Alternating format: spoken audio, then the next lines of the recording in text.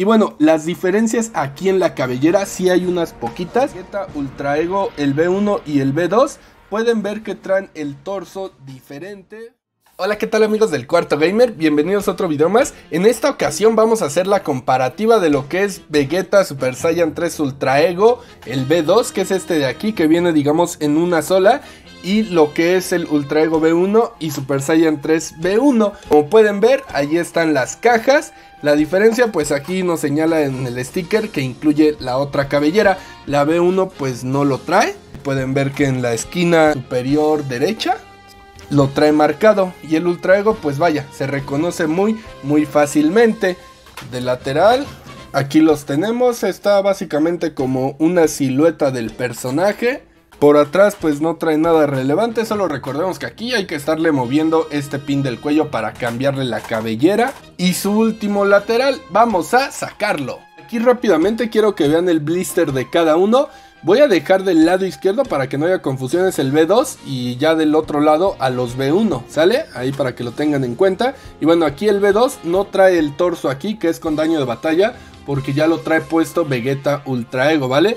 Igual la cabellera venía por atrás en una bolsita de estas, así, venía aquí puesta y también aquí viene tres cambios de rostro. El unboxing ya lo tienen por si tienen dudas, ahí lo ven. Solo quiero que vean cómo va. En sí el blister viene de la misma manera organizado en el B1 que en este B2 del Super Saiyan 3. Y bueno, Ultra Ego básicamente varía, ya que aquí traen el dedo cruzadito y aquí lo trae recto para ponerle un rostro más. Como pueden ver todos traen su doble torso y bueno, ese caos de que se le cambien los brazos. Pero vamos a ver las diferencias. Me voy a enfocar ya básicamente en lo que es el tono del cuerpo y sobre todo rostros y cabellera ya que las manos son exactamente iguales. Excelente hermanos, bueno aquí tenemos a Vegeta Ultra Ego el B1 y el B2 pueden ver que traen el torso diferente, también por el diseño, que uno es el daño de batalla, pero en sí este también trae su torso con daño de batalla. Aquí lo tienen y pueden ver que este trae un brillo, igual que el que trae aquí sin daño de batalla. Trae un brillo, así como una aura, incluso en lo que es las piernas. La verdad se ve bonito, aunque no les quedó del todo bien, pero vaya, es un detalle que se agradece contrario a lo que trae este Vegeta Ultra Ego B2 por decirlo, ya que el traje está hecho como para el Super Saiyan 3 más que nada. Esa es la mayor diferencia. Lo que es el daño de batalla, los detalles y eso es exactamente el mismo molde. Lo único que cambió fue este tono brillante que aquí se perdió el Super Saiyan 3, lo que es el cuerpo, es básicamente igual, hermanos. O sea, no le veo ninguna diferencia. Es un restock, literalmente. Como sabrán, la B2 se me rompió del brazo a la primera. Y bueno, esta B1 no se me rompió de inmediato. Sin embargo, yo como les he dicho, puede que haya sido mala suerte o buena suerte de la otra. Para mí la calidad de Kong es pésima. O sea, eso lo menciono mucho. Para que no vayan con la finta de, ah, es que el B1 salió mejor que el B2. O no sé, al menos en mi opinión, Kong tiene un severo problema en control de calidad, así que no se fíen de eso. Las diferencias aquí en la cabellera sí hay unas poquitas. Quizá ustedes no lo notan tanto en cámara, pero aquí lo que es el B2, digamos que empieza muy oscuro y rápidamente se aclara. Las puntas son un poco más blancas, contrario al B1 que tiene ese color como más oscuro uniforme. A ver, aquí pueden ver, ya creo se nota un poquito más que el B2 está un poco más claro que el B1, ese sigue siendo más oscuro y sobre todo les digo, en persona se percibe claramente. No sé ustedes en realidad cómo los estén viendo, pero créanme en persona se nota la diferencia. Yo aquí no podría decir precisamente cuál me parece mejor, ya que creo ambos pues tienen deficiencias evidentes. Los dos se mueven bastante bien, eso lo aclaro, está muy padre pero el tono de las puntas, créanme, sí se nota la diferencia. Y ahorita, por ejemplo, de este lado yo hasta vería por un momento con puntas más claras a la B1. Es algo engañoso y chistoso, ¿eh? Pero de verdad, pues sí está como que feito ambos en sus cabelleras. Pasando a la parte de los rostros, quiero que ustedes los vean y me digan si notan alguna diferencia. En realidad yo sinceramente no les veo un cambio significativo en esta pieza los rostros pues son mate como lo mencioné, no me parecen malos, tampoco es que sean tan destacables por alguna particularidad, pero vaya, los estoy dejando lo más a detalle para que ustedes mismos puedan juzgar y ver cuál les parece mejor opción. Pasando a otro rostro, en realidad la diferencia significativa sería el tono rosa en la boca, que uno es más oscuro que otro, pero en serio yo los estuve ya buscando a detalle algo que distinga de forma evidente y creo se podrían confundir fácilmente. O sea, si tú mezclas tu B1 con tu B2, es muy posible que después no sepas ni dónde estaba cada rostro, porque sí están de verdad idénticos. Este es el último rostro. Por favor ustedes díganme si le notan alguna diferencia significativa, porque les repito, yo le busqué y ya fuera de cámara O sea, intenté ver un detalle o algo así, no sé si sea medio ciego, pero la verdad el mecanismo, los tonos, el color de ojos, los detalles me parecen exactamente iguales. La única diferencia que pudiera ser muy minuciosa es que creo uno tiene un poquito más largo el pico de su cabello que otro. Ahorita les cambié el rostro, o sea, están invertidos y pueden ver que en este como que queda un poquito el hueco ahí, pero es mínimo. Y ahora sí, con lo que es Ultra Ego. Pueden ver que evidentemente el color del cabello es distinto. Aquí quiero que vean que por ejemplo este del B2 es uniforme. O sea, básicamente es el mismo tono en toda la cabellera. No le noté un sombreado, al menos no significativo. Me gusta mucho, la verdad la cabellera se me hace lo mejor de todas estas versiones de Ultra Ego Saiyan 3.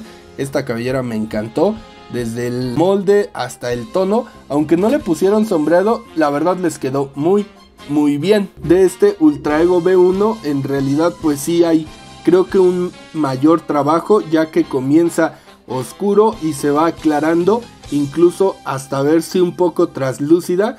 Que me gusta, en realidad se ve muy, muy padre, pero bueno, aquí más que nada yo creo contaría tu opinión de qué versión te gusta más, ya que ni siquiera todavía lo tenemos animado como para decir, no, es que este se parece más o este.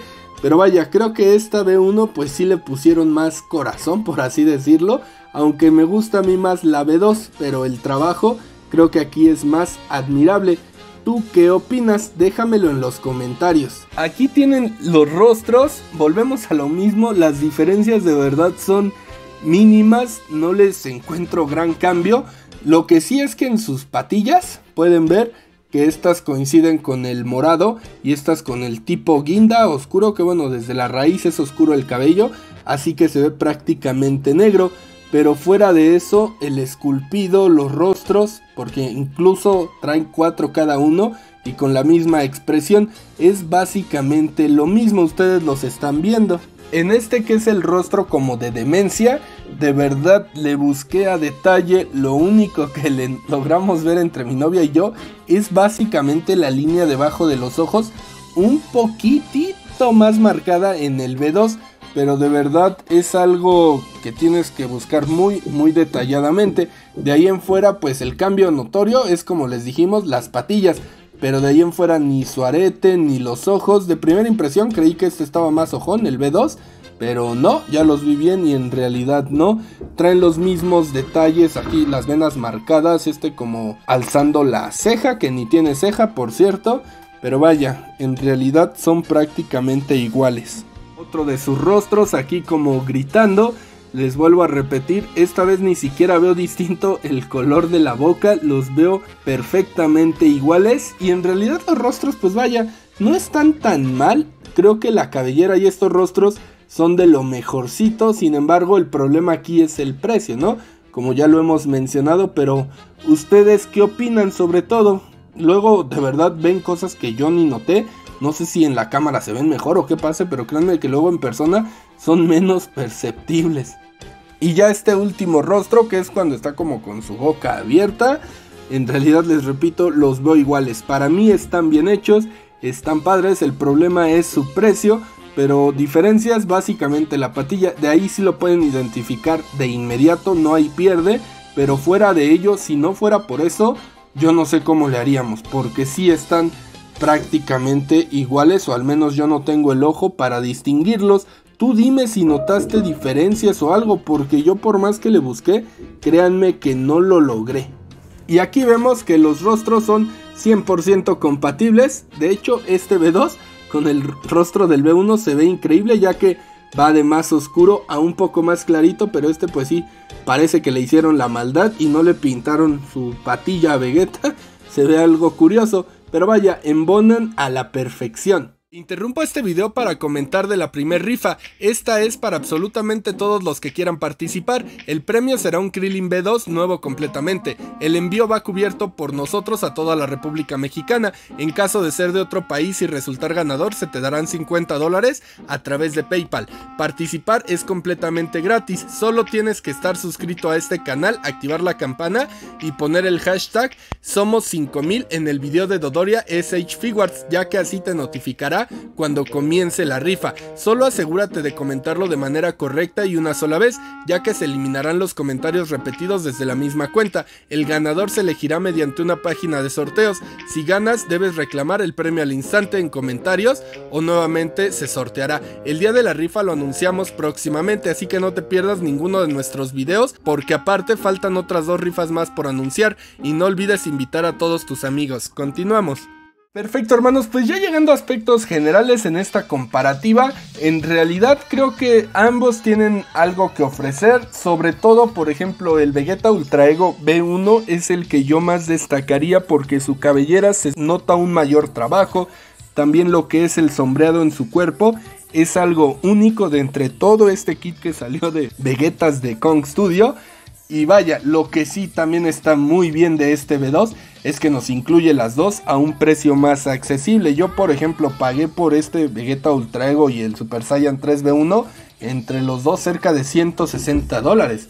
En cambio, por este pack de Ultra Ego B2 pagué solo 100 dólares. Pero vaya, aquí también destaco que tienes dos cuerpos completos, dos cabelleras, dos cambios de brazo y aparte dos torsos de repuesto. Aquí pues básicamente te quedabas con una figura, cabellera, torso extra y pues unos solos brazos que por cierto se me rompieron. Pero pues yo si recomendara uno sería el paquete, o sea de este Ultra Ego B2 y si por ahí ves al Vegeta Ultra Ego B1 Piénsalo, digo, si te gusta mucho la cabellera, el personaje, quizá te puedas dar ese lujo. Lo que sí es que descarto totalmente al Super Saiyan 3B1, ya que la cabellera, les repito, tienen básicamente como cambios en los tonos, pero no es favorable de una manera clara hacia una de las dos piezas. Para mí sería como que te dan una u otra y dices, ah, pues ahora sí que es lo que hay. pero de ahí en fuera no. Pero vaya, tú dime qué opinas, porque este tono de cabellera del B1 y el B2 de Ultraego creo que es lo que haría la diferencia. También el B1 si te gusta o no el sombreado que trae brilloso, ¿no? De Aura, a mí sí me gusta, pero vaya, tú siempre vas a tener la mejor opinión. Pero bueno hermanos, esto ha sido todo por esta ocasión, espero de verdad lo hayan disfrutado y les sea de utilidad. No dejen de seguirnos y vean lo de las rifas, la verdad puede que una de se ganen una figura. No olviden suscribirse, regalarnos un like, activar la campana y bueno, esto sería todo por esta ocasión. Muchas gracias y hasta la próxima.